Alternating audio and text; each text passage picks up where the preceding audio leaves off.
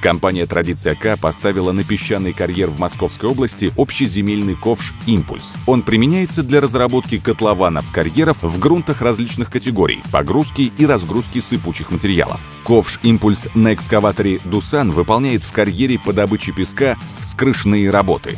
Еще на стадии проектирования учитывались будущие условия эксплуатации оборудования, в том числе физико-механические свойства пустой породы, которая в основном является почвенно-растительным слоем, а именно низкая плотность, рыхлость и невысокая степень абразивности. Учитывая эти факторы, был изготовлен ковш увеличенной вместимости. Нашлось место и применению стали Hardex. За счет уменьшения толщин элементов удалось снизить массу ковша, сохранив при этом необходимый уровень запаса прочности навесное оборудование получилось вместительным, легким и прочным, а проработанная с учетом кинематики экскаватора форма ковша обеспечивает пониженное сопротивление при проникновении в грунт в процессе эксплуатации.